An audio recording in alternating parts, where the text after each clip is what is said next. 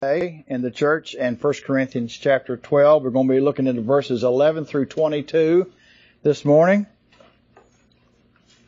Sometimes when we study, we'll see things that are condensed because of a certain teaching in a verse or two, and then we'll see things that are just are illustrations. So this morning is an illustration.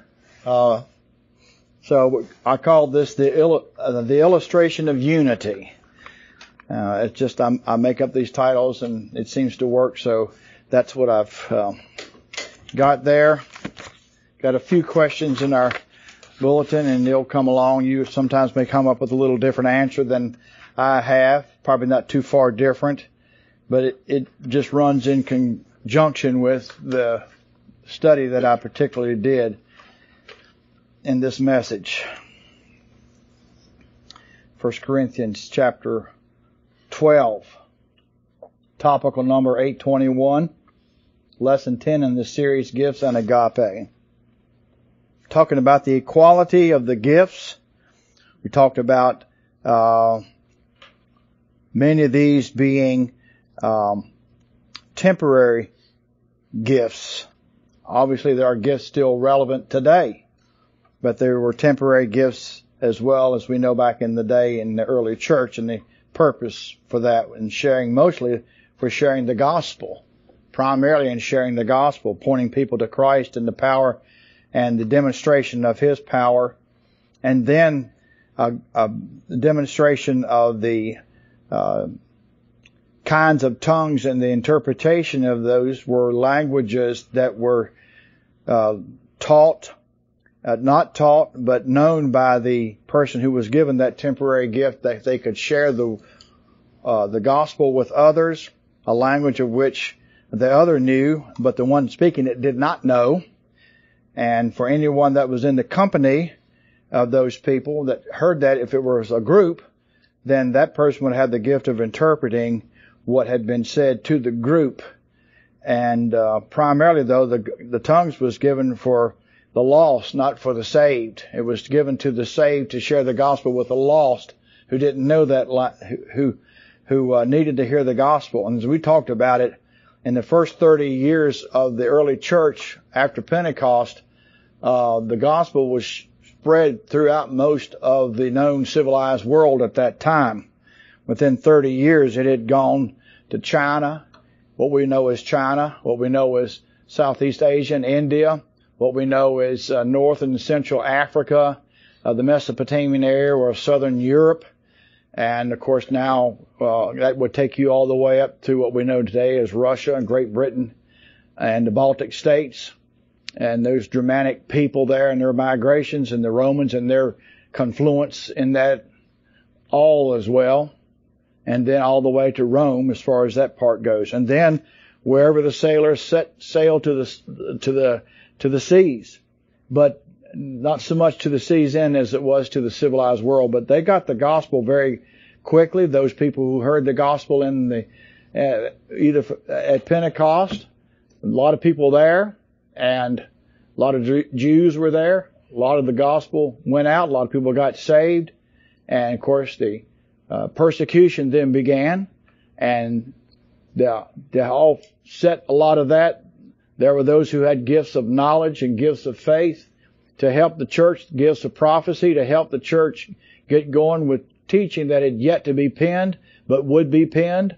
And then uh, the circulation of the word went out, and eventually, you know, as the circulation of the word went out, the false teachers started to rise because they were reading these scriptures. They did not agree with these scriptures.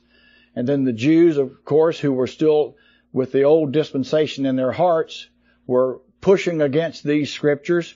And so the early church had a battle on their hand. And then, of course, that didn't include the pagan culture that the Gentiles had come out of and their false gods and their false teachings. And so there was, the church has always had resistance. And the church succeeds when it resists. The church never succeeds when it, when it submits uh, to its culture. Culture is never Christian culture. The only place where there's truly godly Christian culture is in the third heaven. That's Jesus Christ because everything else eh, is just a facsimile of it, or it's a weak, watered down version of it. And so we're, we're desire through the Word and the Spirit is to become as much like Christ as we can in our thinking, which comes through resident Bible doctrine. What I call fruit knowledge rather than root knowledge is what we'll look at. So the church has always faced resistance. That's not a new thing. And uh, it's important that the church stays in the Word to give the strength to fight because this is a spiritual battle more so than anything else. It's more of a spiritual battle than it is a cultural battle it's more of a spiritual battle than it is a political battle. And we know it's not a battle against flesh and blood, but against powers and principalities. That's satanic, cosmic uh, resistance to truth. Satan has always resisted the truth. And so we are aware of our enemy and we are aware of the beans and the bullets that we need to do the warfare that is ours. It is our warfare. That is part of the angelic conflict it is a warfare to which we are engaged, whether we are on the front line or we are in a support role. All are important.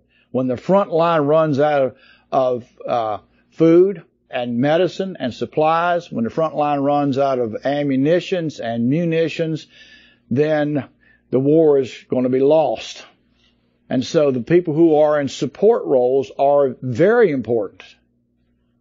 Communication is very important from the front all the way back to the ops tent. Everywhere you go, first thing we would do is set up an ops area. And we'd set up a perimeter, we'd set up an ops tent, and then we'd set up a perimeter and it was always a place of security and safety.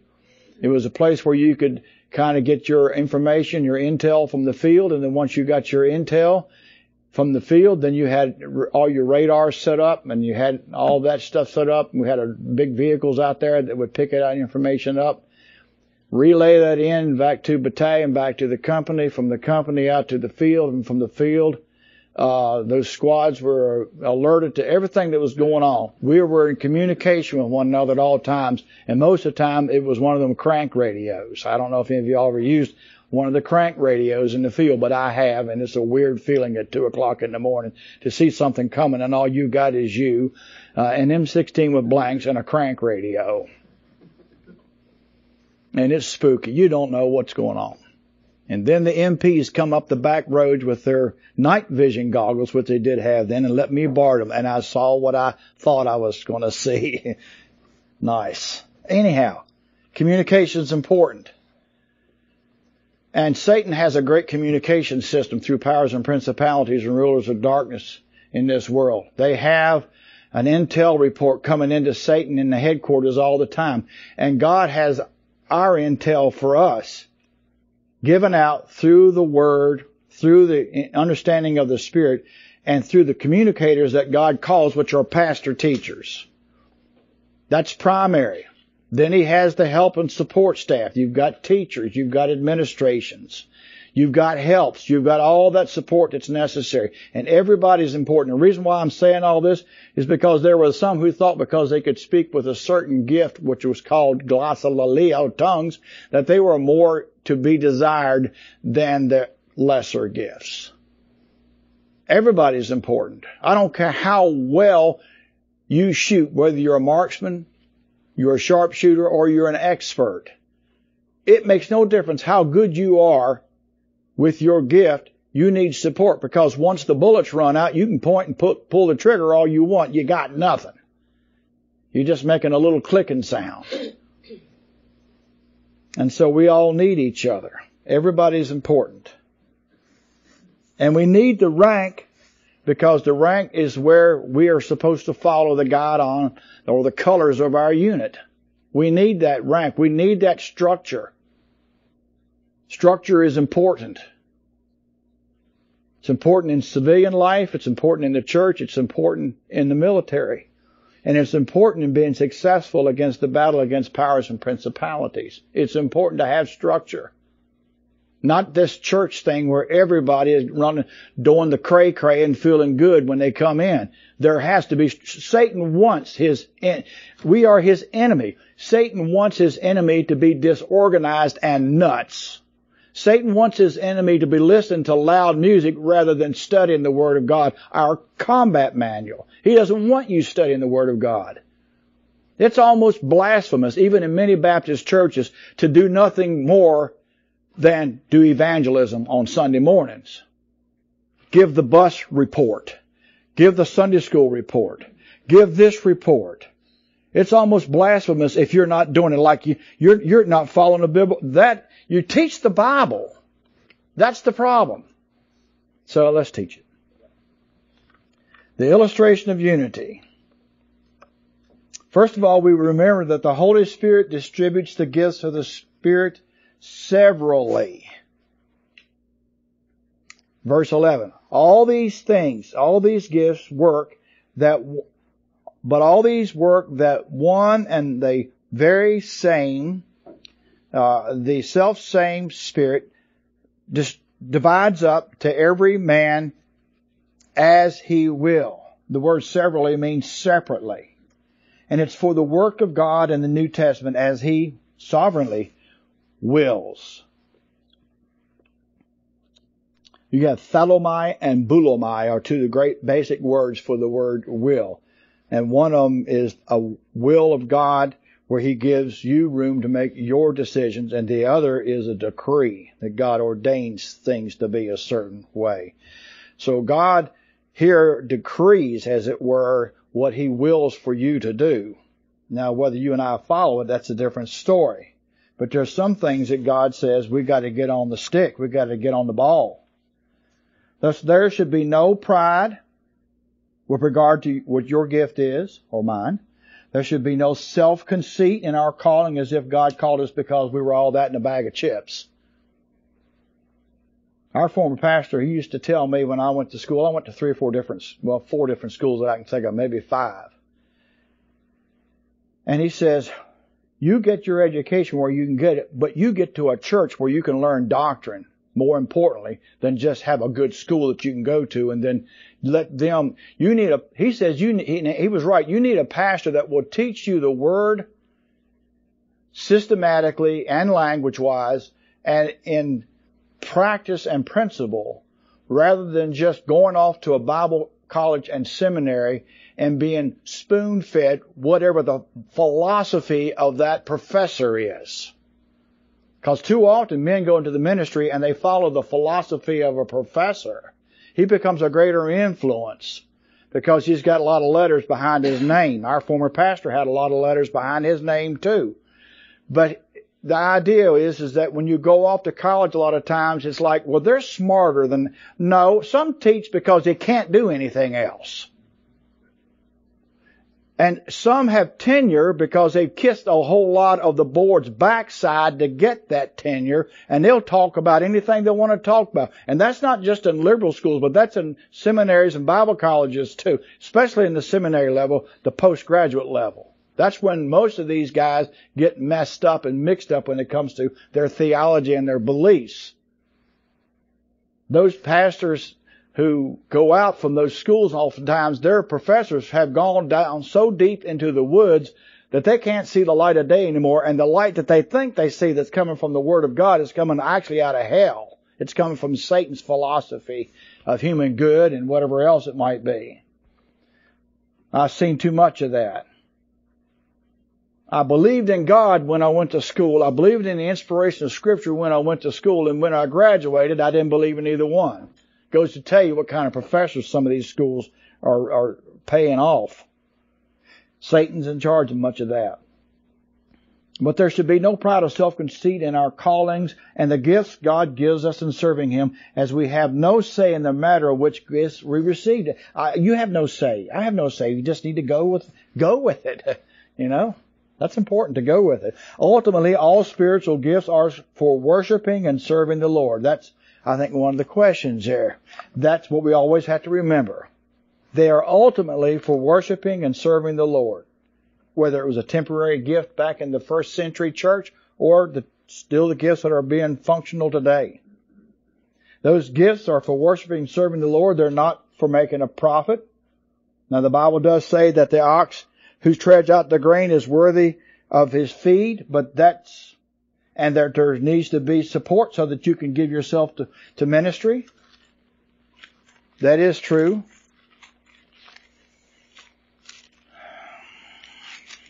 Second Timothy. Paul said, no man that wareth, 2 Timothy 2 4, no man that goes to war entangles himself with the affairs of this life. It's talking about outside business affairs. No, entangles himself with the affairs of this life that he may please him who has chosen him to be a soldier. In other words, you need to stay focused on what you're called to do as a soldier in that regard. No man that warreth, goes to war, entangles himself with the affairs. And that means, actually, the word there means a business occupation. A business occupation. That he may please him. That is, you know, he wants us to be solely focused on that calling and what, what comes with that. But anyway, the gift is for worshiping and serving the Lord. And obviously, not comparing ourselves with ourselves, as Paul noted in 2 Corinthians 10, 12 through 13, which he said, that's not wise. Us comparing ourselves with ourselves, uh, you know, people compare preachers with preachers. They compared Paul with Peter and Apollos, remember, and others. And Paul said, that's not wise to do that. And not only that, but each one that's given the gift that they have, it may be the exact same gift, but it also goes within the measure of that person and their background and their training that they can still be used here or there or wherever. Because if they're faithful to God, they are His mouthpiece. And they're staying in the Word.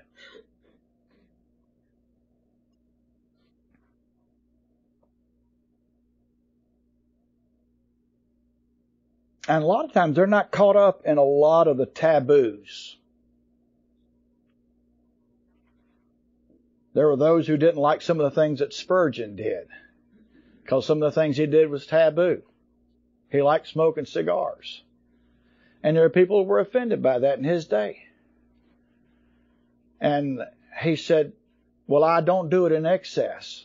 Moody asked him, what do you mean in excess? And he says, well, I only smoke one at a time. I don't smoke two at the same time.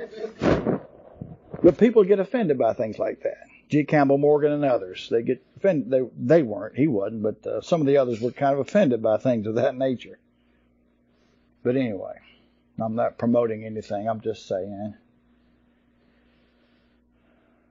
We're not to be comparing ourselves to see if we're more righteous or less righteous than the other person.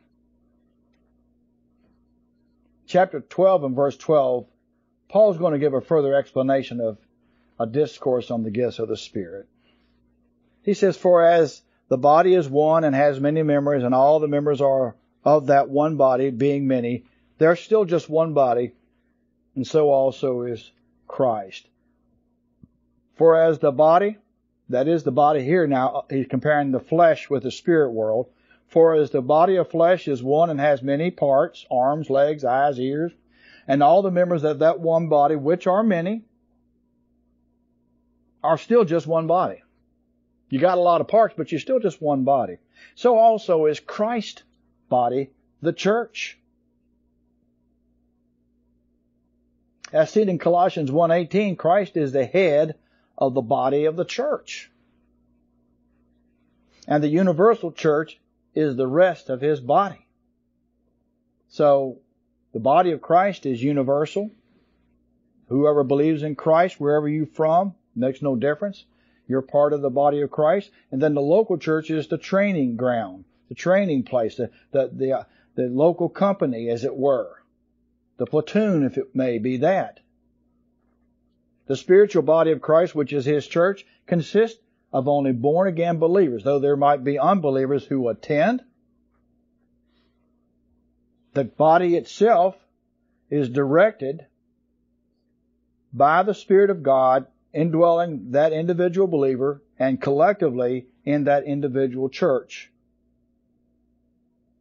And we have all been those who have been regenerated. We are a believer in Christ if we have been regenerated by faith and that sacrificial death of Jesus Christ. Being made anew. Palin Genesia. We've been made anew is the word there. by the Spirit of God. If you and I have not been made anew, we're still at the old man. We're still controlled by the old nature. But if we've been regenerated, as Titus 3.5 says, by the washing of the water and the renewing of the Holy Spirit, the renewing, regenerating work of the Holy Spirit, then we are born again. We are members of the body of Christ, and we are members of one body. We may have many denominations, obviously, in Christianity, and non-denominations or interdenominations or whatever, which are denominations within themselves. But if you're a born again believer, you are in the family of God. You are in the body of Christ in this dispensation. Unique to the other dispensations. This dispensation is unique to all the other dispensations or eras of time of God's economy of how He does things. But we are one body. All parts are connected to the head, of course, is Christ. And so the parts of the body are supposed to follow the direction of the head. If you did not listen to your brain, your brain did not get that information to the parts of the body, that would be a problem. I mean, this is the main computer thing, the cranium area there, uh, that, that eight pounds of mush, or whatever it is. But all the little things that are in there working that God uses, and then the invisible part, part that actually make it come to life with, which is the breath of life that God gives to it. It says in verse 13, For by one Spirit were we all baptized into one body. But for by one Spirit, that's the Holy Spirit, were we all baptized into one body, whether we were Jew or Greek, actually the way it is there. Uh, you may have Gentiles and have all been made to drink into one spirit, not just some, but all. That's twice the word all is used here in this verse. We were all baptized, for by one Spirit were we all baptized. We're all baptized is one word in the Greek text, and it's an aorist passive indicative verb, signifying that our spiritual baptism into the body of Christ was a once and for all event. You don't get baptized into the body of Christ two and three and four and five times, as those who believe you lose your salvation are proponents. The passive voice means he does the baptizing you or placement of you and immerses you into the body of Christ. Passive voice is subject of the verb is the receiver of the action. And the indicative uh, here, this mood, means that it's without doubt. So we were all once and for all baptized as a complete act not a partial immersion or a probationary introduction to Christianity, but a full, complete immersion and baptism into the body of Christ. So if a person could lose their salvation, the Spirit of God would have to carve you out of the body of Christ. That'd be like somebody carving out your arm or your eye or your ear because it had a problem. It would, it got an infection. It became anemic. It became weak. It got something in it or something happened. No, you try to heal it. The body has healing powers within it. And then sometimes you need some help getting healing done physically. And sometimes God has to intervene from the outside in or as it were inside out to heal us from our spiritual wounds. But God does that. But once you're in the body of Christ, you are in the body of Christ. Also, referring to that spirit baptism, it's in the indicative mood, which means there's no element of doubt. For by one spirit were we all baptized into this body. It is without uncertainty. In other words, Paul is saying you didn't have to be uh, baptized and circumcised to get into the body. You didn't have to be baptized and baptized to get into the body. There are some who believe that if you don't, until you get water baptism, that you're not saved because they put more emphasis that and they'll dunk you three times. One for the ghost, one for the son, and one for the father. You get three doses when you go down. We don't do like a one dunker here. They go and take you down three times. It's like John Wayne said he had faith in all the major religions because he wanted to hope maybe one of them could get him in. I'm afraid he missed out if that's the case. But anyway, for by one Spirit were we all baptized into one body, whether we're Jews or Greeks, it makes no difference. In other words, what your background is, you don't stand a bit higher than anybody else. Whether you came from this nation or that nation, you came from this pedigree of family or that, makes no difference to God. Whether you're a man or woman, it makes no difference to God. Black or white makes no difference to God. If you believed on Jesus Christ, the Holy Spirit's dunked you into the body of Christ. And you're not coming out. You're saved and secured in Him. And so, the, with that said, we need to learn to accept it. That's grace orientation, and then learn to work together. The moment we believed in Jesus Christ is the very moment we were baptized into the body of Christ, not when we started speaking some gibberish or started performing in a way that suited somebody else's standards. Galatians 3, I'll just Galatians 3:26, you know, for you are all the children of God by faith in Christ Jesus. That's the condition. By faith in Christ Jesus. For as many of you as have been baptized into Christ have put on Christ. Great. When you believed in Jesus Christ as your Savior, you were saved all over and forever, and you became a child of God forever. That's a wonderful thing you're down and out, you feel bad about things, just remember that. That's not gone anywhere. We were spiritually baptized and sealed into one body, Ephesians 1:13. We were spiritually baptized and sealed into one body, whether we were Jews or Gentiles. So that means we need to learn to work to get along. Whether we're black or white, man or woman, we need to learn to work to get along whether we're the pastor or we're just someone holds the door, we need to work to get along. One of us is not a bit better than the other. The only one that is better is Jesus Christ. That's why Jesus Christ had a problem uh, with the Nicolaitans. There was that issue of the laity and the clergy, and he did not like that distinction. There was the responsibilities and mutual respect, because mutual respect is supposed to go both ways. It's not like everybody's supposed to respect the priest or the pastor, but it doesn't have to go the other way because respect is what earns respect. And you don't get respect unless you're respectful. That's an important thing for us to always remember. And because we're representing as ambassadors the head, who's Christ. That's the main thing is the glory of God here. But we were spiritually baptized and sealed into one body, whether we're Jews or Gentiles, bond or free, as earth citizens, and we have all been made to drink of that one cup. We've all been made to drink. As he said in verse 13.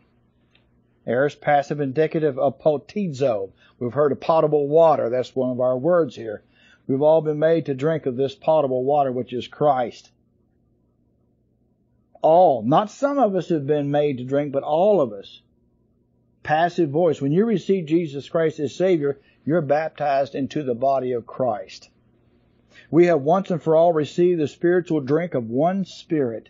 Not only did the Holy Spirit baptize into the body of Christ, eternal body of Christ, when we were saved, but the Holy Spirit came into us just as real as water is swallowed into the physical body. It became a part of you. Of course, it take up residence in the human spirit, where His Spirit bears witness with your spirit, of course.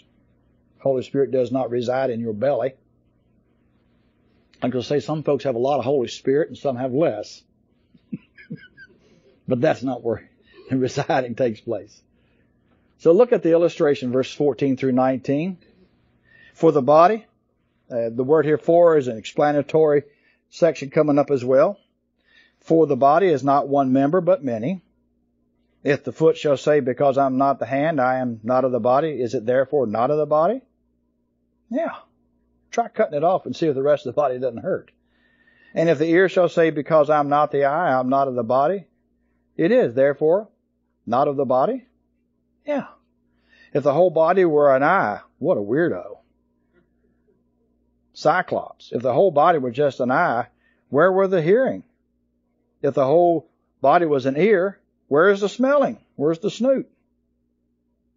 Or as we would say in some circles, the elongated proboscis.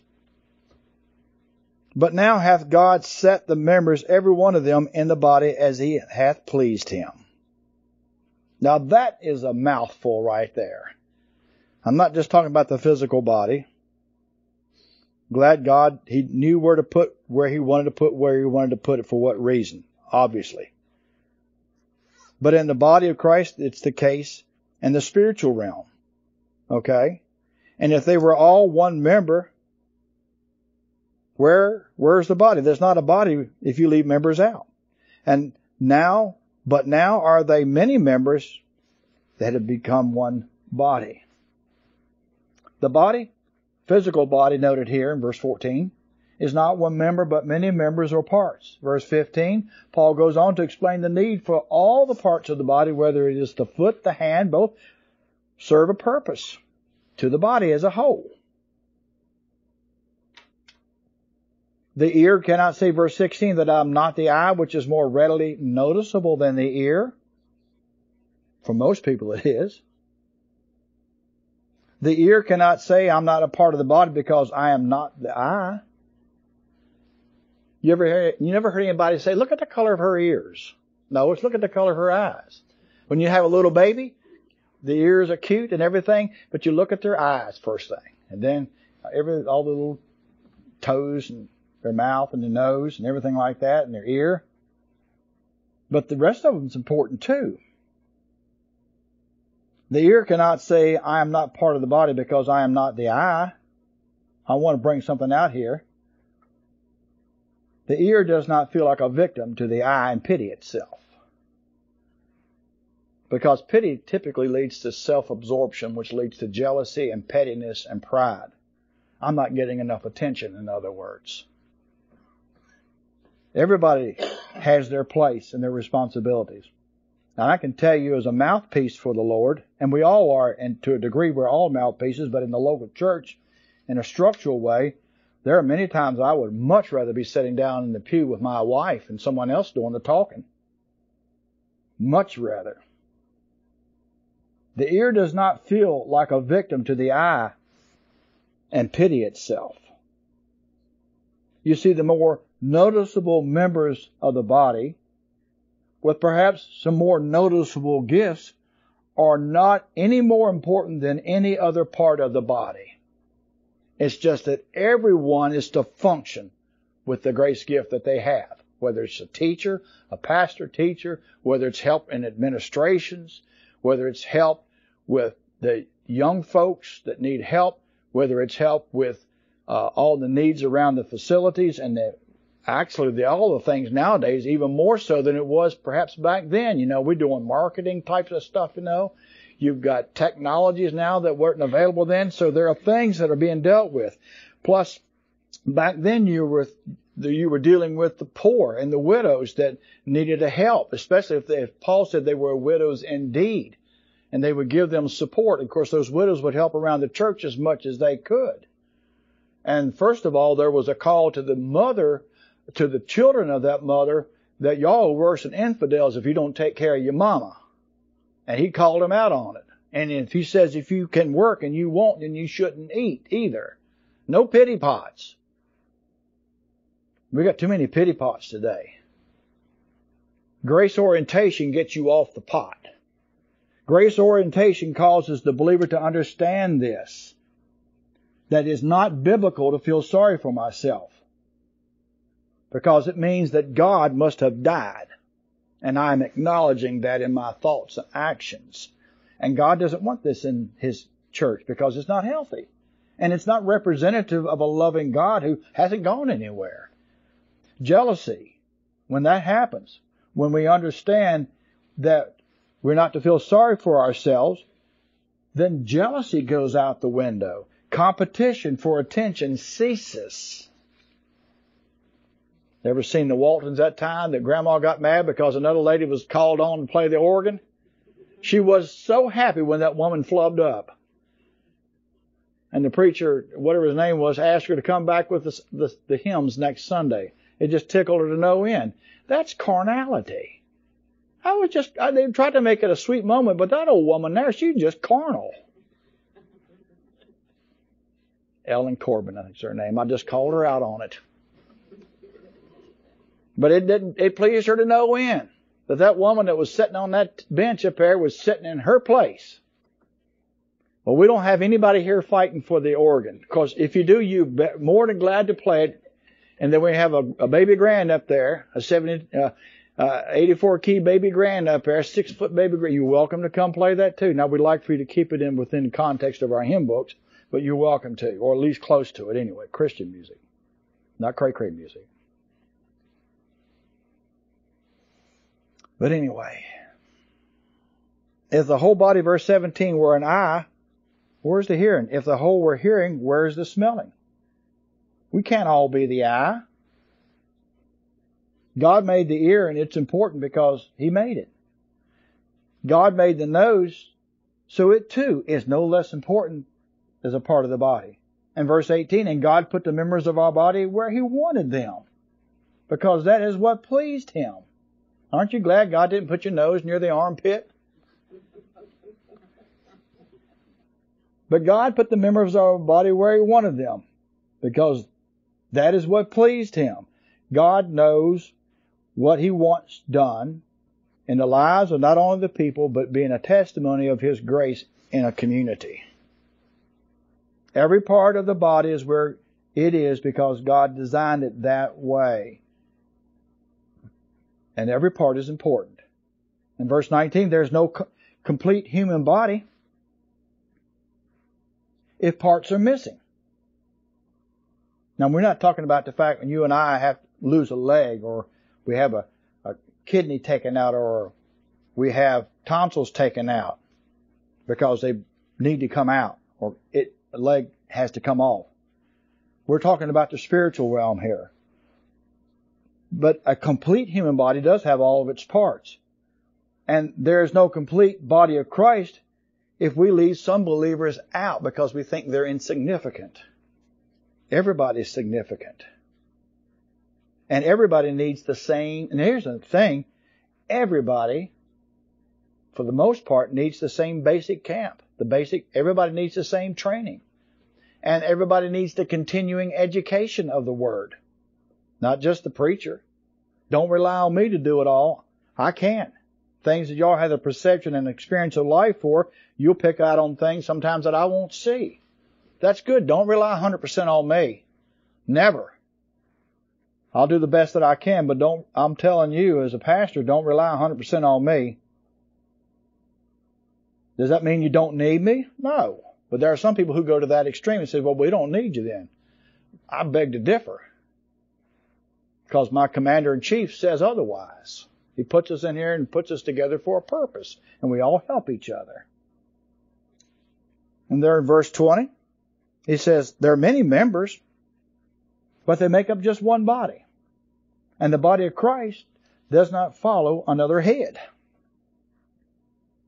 Remember, there are many members that is in the body of Christ, and they make up one body which is Christ and Christ is the head. And we don't follow another head. We don't follow another voice. And that's why it's important for you not to let other people get in your head. That's one of the things I learned when I was 20 something years old. Don't let other people get in your head. I learned it young. Um, because you're going to be responsible for the decisions that you make, not the decision that somebody got in your head made for you. Even when a man and a woman get married, they supposed still have an independent head. They have to maintain that independence. One cannot suffocate the life out of the other. You have to have that ability to be independent. Even though you are one, you still have to have a sense of your own autonomy so that you can function and bring something to the game something to the wedding, something to the marriage. If you, re, if you stop being who you are, you stop being the person that the other one was attracted to. You mesh together, you complement, you don't fight with one another, you mesh together like that. That's a wonderful part of that, that thing. But also in the body of Christ, God's not asking you to be somebody else. Because you're unique, and He needs you to understand that. And then to, to, to, to take from this and to take from that and to learn from this and to learn from that and, and learn what you don't want from that one. I've got people and you, you probably do too that you read from it, you got something from and you like and the other stuff you say, whoa, whoa, whoa, whoa, whoa. That's good. You don't have to agree with that person. You don't want to go out and just burn their books because of that. You learn from them. They'll answer for that. Every man stands and falls before his own master. I don't answer for you. I'm not going to answer for one of you. And you're not going to answer for me. You go answer for you. So, not that I'm telling you something you didn't already know, but I just remind us here. As Peter and Paul and Mary said one time, some of you got that. I'll call your hearts, your minds to remembrance. But the head directs the body with the Word of God.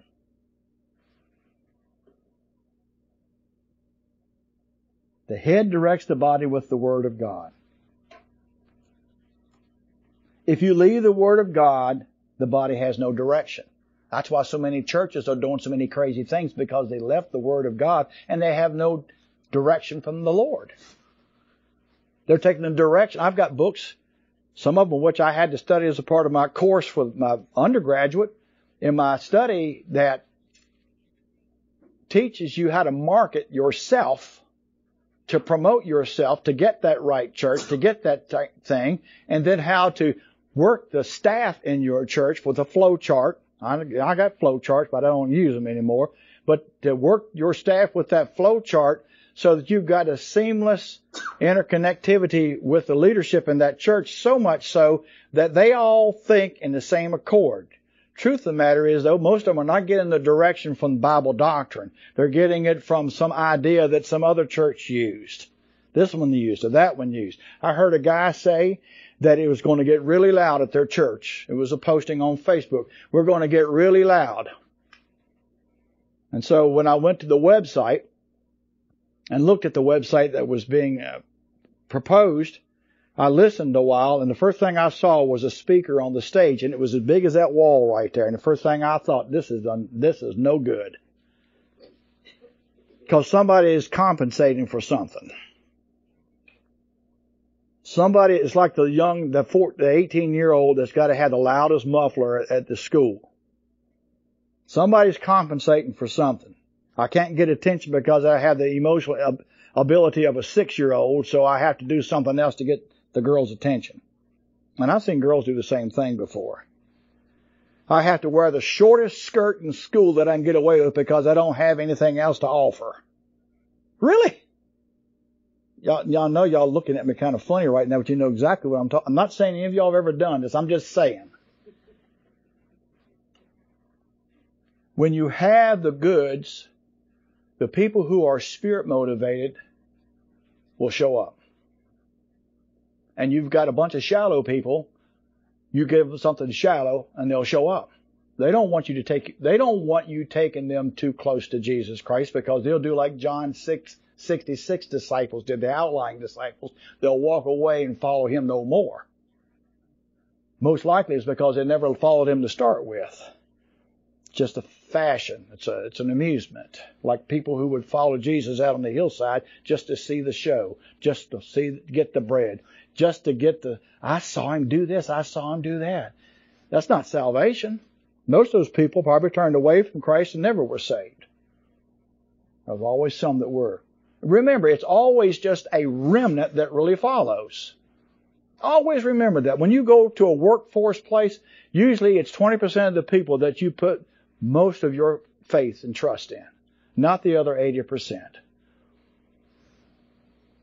And you will spend most of your time counseling and working with the 80% who are not as interested than you will with the 20%. They're, they're A types.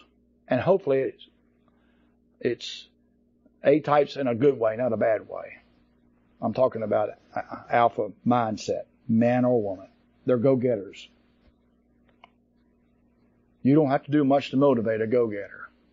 Some people you have to keep a boot in their backside all the time in a nice way to keep pushing them, keep pushing them, keep pushing them, keep pushing them. And other people, you've got to put brakes on them. You know. My hands are sweating right now. I think it's just the lotion I put on. I put a non-scented lotion on. That's what's sweating.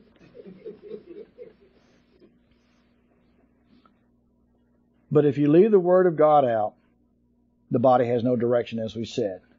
And then that's when the devil deceives the body. When the body of Christ, the local church, and the body of Christ as a whole has left the Word of God, then it opens the door because there's a vacuum there, and it opens the door for powers and principalities to slip in with something that's a false teaching. Eh, it has happened so many times, and that's when it happens. False teaching doesn't come in when you're constantly pounding the word with sound doctrinal teaching. False teaching comes in when there's a vacuum and you've left an empty place and you haven't addressed that issue. And with an expository church, there's times coming when you'll you'll say, well, when's the pastor going to talk a lot about the family? I will get to it. I will address that. When's the pastor going to address this? Well, you have to be faithful to get that because I can't do it all at one time. Not that you can't study it on your own. I hope that you do.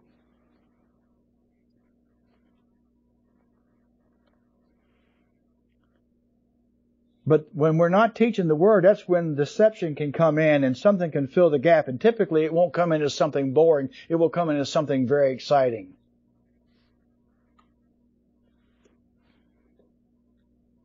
Preferably not coming in as Miley Cyrus did on a wrecking ball. that was a wreck.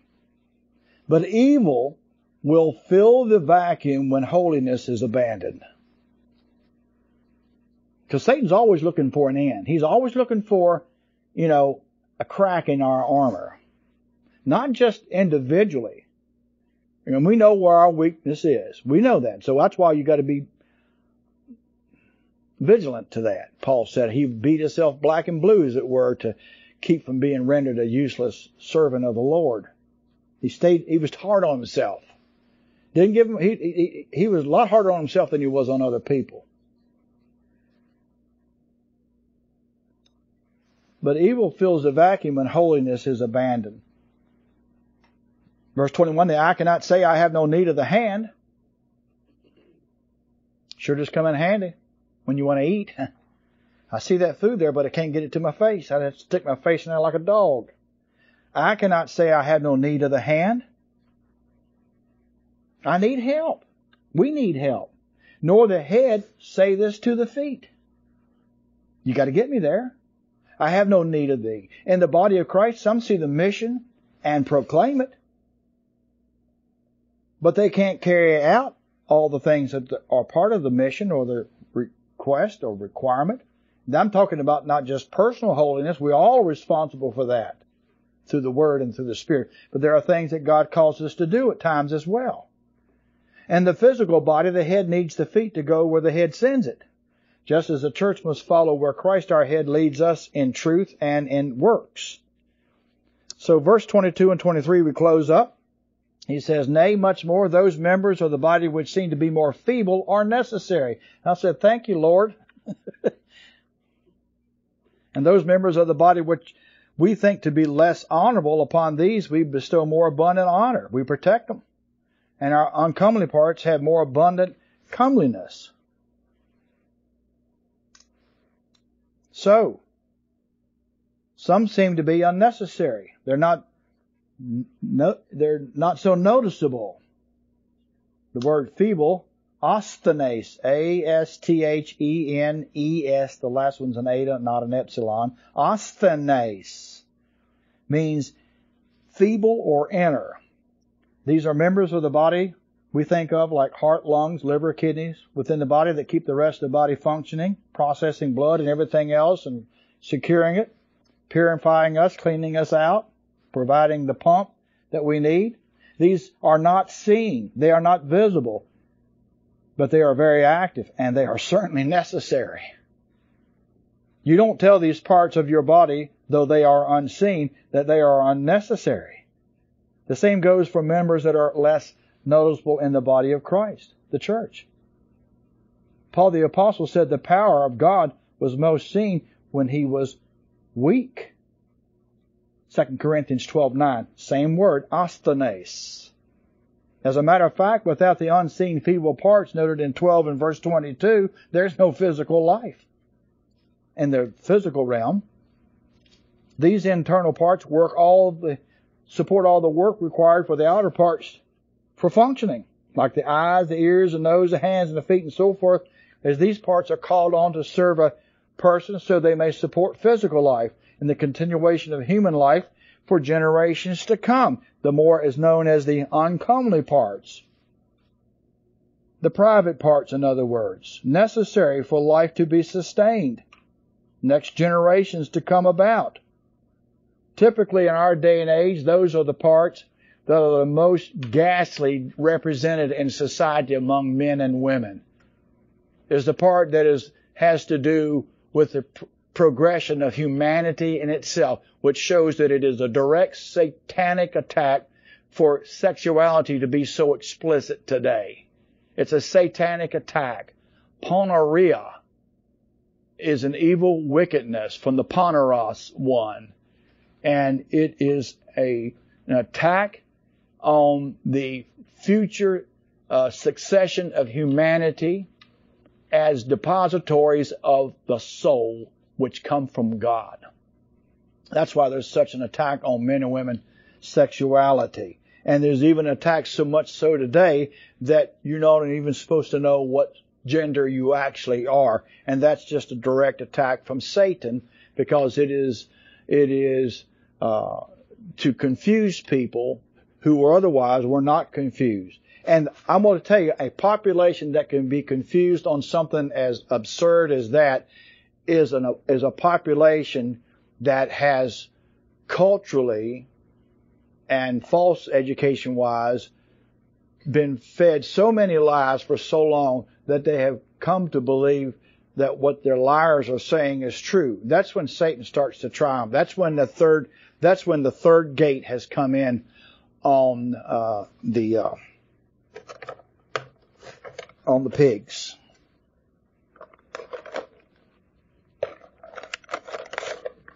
Nope, there it is. It's moved on there. That's when the third gate has come in. You've seen it. Free stuff. This is not going to be a very, this is going to be a sad looking cow. Looks more like a, a dog. All right, let's put some horns here. It's a happy cow though. But oh, there's free food. You've seen it. So after a while they come to eat. Then the other, hey, then you go out and you tell the other one, let's make this a little rounder cow with little round feet. Whee! That's a rabbit. It's a three a three-legged rabbit.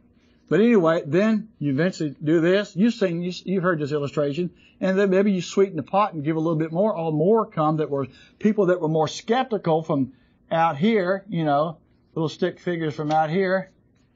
Whee! I mean, this is, he's got a ball cap on. He's a Yankees fan. He's not very happy. But anyway, you get everybody starts coming, you get different people because you start sweetening the pot because you get something that appeases them. Then you get this one, and eventually after you get them all in there, you know the story. Then you captured them in the boot, and you're going to give them the boot, whatever. That's not intended to be an art uh, display. Just a point. Don't put that on the please. But anyway, you get the point is that we can be led to believe something that is right when it is not, and we need to know from the word right from wrong. And Satan doesn't want us to know right from wrong. But when we can work together, uh, we can continue to promote the word and the gospel. And that's what we want to do. Father, thank you for this day and thank you for your word. Thank you for the truth. We ask you to help us to get something from these lessons and from your word, we know that it won't return into you void, but it will accomplish what you sent it forth to do. Help us to stay strong in the Lord by your power and your will. In Jesus Christ's name we pray. Amen.